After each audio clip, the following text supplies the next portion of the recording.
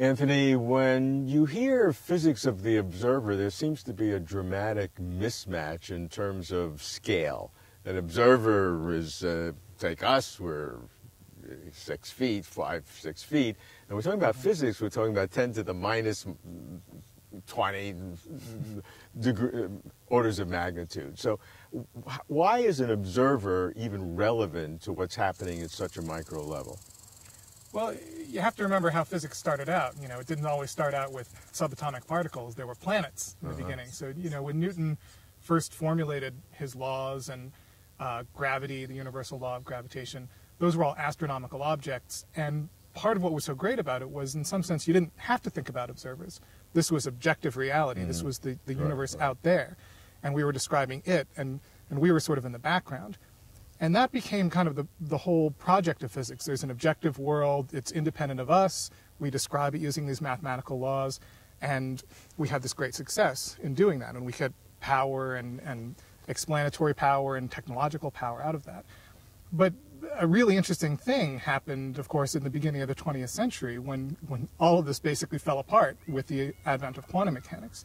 And, you know, physicists resisted it. They, they saw that as they tried to formulate the laws of the very small, they found that, you know, whatever you do, your act as an observer, the fact that you're observing something, just inevitably affects it.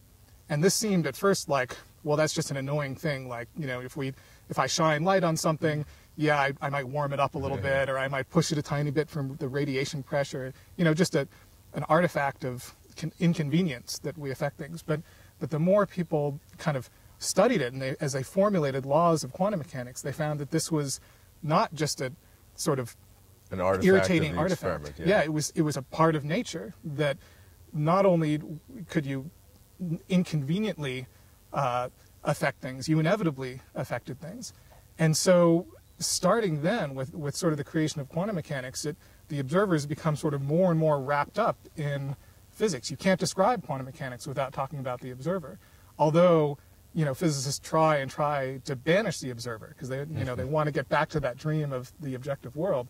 But the observer just kind of keeps coming back, even in the smallest things. Okay. Now, when we say observer, um, what is what does that mean? It means mm-hmm. uh, uh, a- accessing information from the system, which is not through our eyes as an observer that we, we think it's through instrumentation or so how do you distinguish between the uh, observer being a, a sentient being mm-hmm. and a measurement device?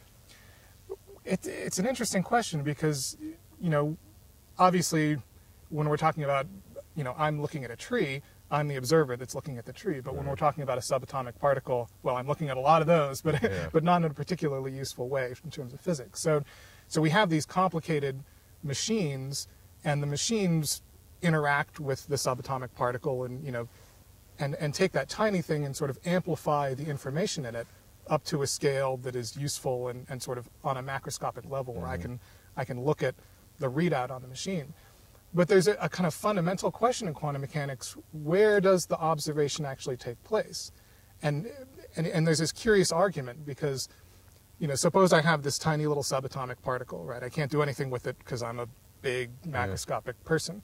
So I get a machine, you know, that carefully hooks up to this subatomic particle and makes measurements. Maybe it measures the spin of the particle and whether it's this way or that way. So the machine, it's a tiny little machine, you know, small enough that it can act, interact with a particle. So it does that. Now that little machine, though, is pretty small. I maybe I can use quantum mechanics to describe that machine. Okay, so I describe that machine, and now that's part of the quantum system. So originally I had this quantum system that was a particle, I tried to measure it, but I got a machine that's now I can think of as a quantum system. So now I have to observe that.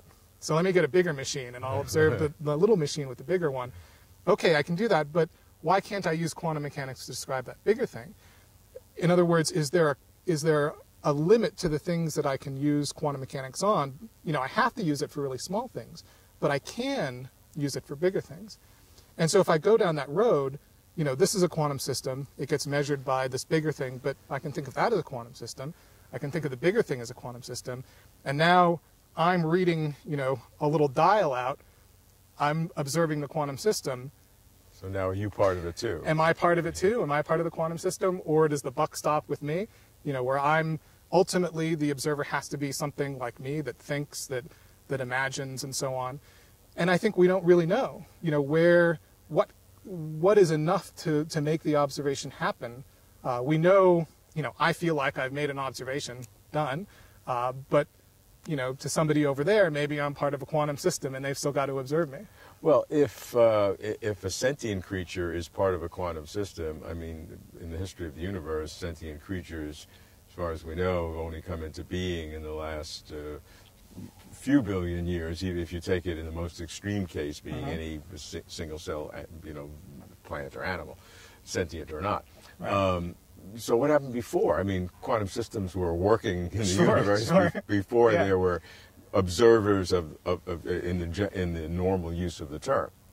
It's a fascinating question. So I think I would say that we know that well, we feel pretty strongly that I'm sufficient to be an observer. Right. You know, at least I right, believe that. Right. But uh, it, maybe I'm not necessary. Maybe I can call that first little machine that measured it. Maybe I can call you know, a, laboratory that nobody's in but still is taking readings in the middle of the night, you know, certainly that's big enough that it's not a quantum thing. So it's not doesn't feel quite right to quantum, call it a quantum thing, uh, though I can. You know, so, so it's this really weird paradox where uh, we're in the situation where big things, you know, we big things act as observers of small things, and yet big things also do seem to be subject to quantum mechanics, and, and there are fascinating experiments that are going on pushing that boundary, right? Where, where you might say, well, it's just an atom that's quantum mechanical, but then they show that you can get a little cantilever, you know, that, that might be microns in size, yeah, which is huge, huge, compared to an atom. Right. Um, that's also in a quantum superposition. That's amazing. So it seems that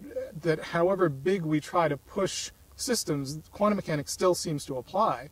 But then why does it not apply to me and you? Maybe it does, maybe it doesn't. You know, I don't I, see I don't a superposition of you at this point. You certainly don't. and well, there there is. A, I think we do understand why I can't see a Robert here and a Robert there, in the sense that uh, that requires. So if we imagine, you know, the rules of quantum mechanics, we might decide, let's flip this coin, you know, this quantum mechanical coin, and depending on whether it's heads or tails, you'll stay sitting or yeah. you'll get up. Um, so then the the sort of wave function, the quantum mechanical thing that describes us, would have a copy of Robert there and a copy of Robert there. But there's no way that either of those copies, as described by quantum mechanics, have a me observing both of those. So there's a copy of me observing this and a copy of me observing that, but there's no there's nowhere in that sort of whole description of me mm-hmm. describing both. both. So I think you know that's an a, a part that I think we do understand. We sort of have mathematics to describe why don't we get, you know, observations of macroscopic superpositions? What we don't have is an explanation for why one of those happens and the other one doesn't. Uh, or do they both happen, or do neither of them happen?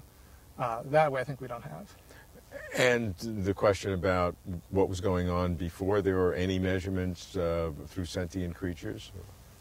Yeah, I think um, we have we sort of have to believe I, I think it's it's hard to give up that view of objective reality that there was stuff happening before there were observers, um, before there were sentient observers. But I think you know it, it's quite subtle actually because when you think of when you think of atoms and planets and stuff, they seem very big and solid Robust. and and like it can't depend on us yeah. at all. But at some level, you think about well, what is a what is a planet exactly? You know, we've given the name planet to it. Uh, did planets really exist before there were anybody here to call them planets? We might say there was a there was a big collection of atoms that were together, but do does collection does together do those things really make sense without you know people to define them? Um, so you know if you think about the the early universe as a sort of a bunch of atoms and imagine uh, just being presented with like a list of atoms. You know, here's a here's a big list of atoms. What's there? it's hard to say that there's any, you know, it's hard to say what's there without us sort of conscious beings putting it together, making sense of it, giving definition to these things.